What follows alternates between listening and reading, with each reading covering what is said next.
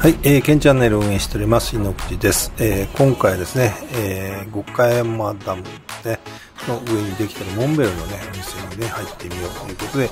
えー、初のね、えー、まあ、入場というかね、入店というか、あこの駐車場にね、入ってきたというところです。えー、まあ、ここできた頃もなんですけどね、まあ、モンベルといえばね、まあ、まあ、有名なね、ブランドだと思ってる思ってるだけどその通りですねブランドショップなんだけどこんなところにできるわけないよねっていうね、えー、そういう気持ちっていうかねありました。これ本物やったんですね。もうびっくりしましたね。えー、まあ、案の定ね中お客さんっていうかねいつも前通ってもほとんどねお客さんいるような感じはないからですね。これ採算は取れるのかなとかね。まあそんな心配はね。する必要ないかもしれないけどね、えー、どういう意図があってね、えー、これやってるのかなとかね、えー、まあ、わかりませんけどね、まあ、そういうとこにできてます。で、こう下ね、すぐトイレがありまして、このコーヒーショップもね、できたということでね、で、自転車並んでるんで、これ何かといえば、まあ、あの、レンタルらしいんですよね。2時間で1000円とか、そこらなんでね、まあまあ2時間ぐらいしか乗らないでしょうからね、もう十分かなとは思うんですけども、まあ、自転車も借りられると。で、えー、まあせっかく来たからね。まあ飲み物はねコーヒーで今から買いに行こうというところで洋服の方もねちょっと見てみたけどなんかねその中でああいいなと思って、まあ、見たんだけどなんとサイズがね入らないということでね、えー、もうワンサイズ大きいのがあればねという、まあそんなこともありました。はい、えー、そういうことでね見学そこそこにね、えー、外周道路回りたいですけども、えー、まあ、ここね、まあ、まあ、静かだしね、まあ、人に邪魔されないというか、まあ、ほとんど人いないからね、まあ、かといっていい場所なんで、デートコースにはね、まあ、ね、いい場所ではあるなという感じですね。まあ、ぜひ、まあ、ここね、立ち寄ってみてもいいんじゃないかなとは思いますね。コーヒーショップもね、ちょっと知らなかったですね。こんなとこにね、あるんだなね、あるんだなっていうか、うん、まあ割ときちんとね、食事もあるし、コーヒーもあるしというとこでした。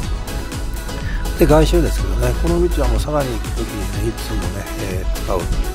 言っても年に5、6回ですかね、えー、まあ、この通りにね、使っていきます。えー、高速道路使ってもね、佐賀の方行けるんだけど、高速とね、ほとんど時間が変わらないんですね、着く時間は。えー、まあ、こっちはトンネル通ってね、えー、いくらかな、300円かそうか、もうちょっと出すのかな。で、トンネル通れますけどね。えー、こっちもね、えー、こっちを私は、そうですね、半分はこっち使うかなですね。その先のね、長崎まで行くときはね、もう最初から高速使うかなというところでしょうか。はい、えー、まあ、ここからちょっと2倍速でね、えー、ちょっと行きますけども、この外周道路はですね、もうなんと、歩く人なんていないだろうっていうところでね、もう立派な歩道がね、ついた道がね、えー、まあ、できているんですよね。えー、まあ、この辺はちょっとありませんけども、まあ、普通ね、えー、ダムのね、外周というか周りの道路でね、まあ、国道であってもここまでのやものがね、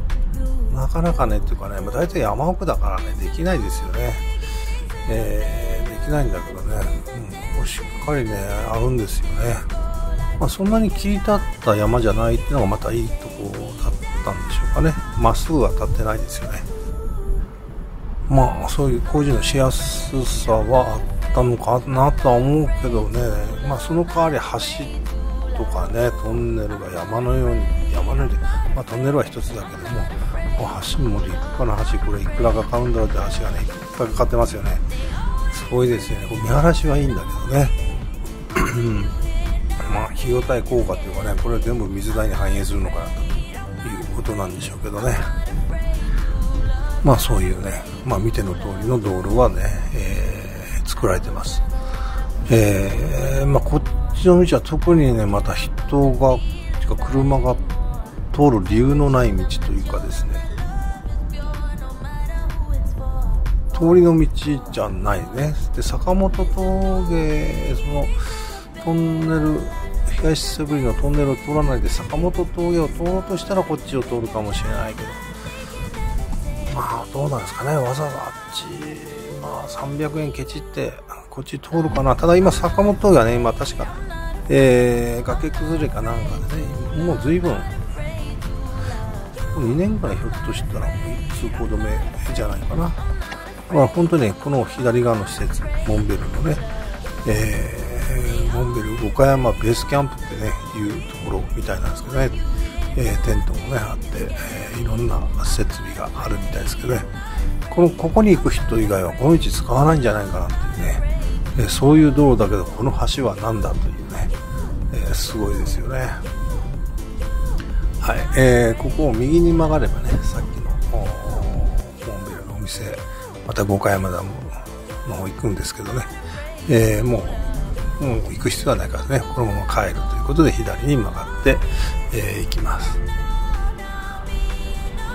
立派なね、本当にこれ橋がすごいでしょう。もう、ねえ、なんか、本当に1日何台、まあ、100台ぐらいは通るかもしれんけど、もうそその程度しかね、知らないところでね、本当にね、すごいなというふうに思います。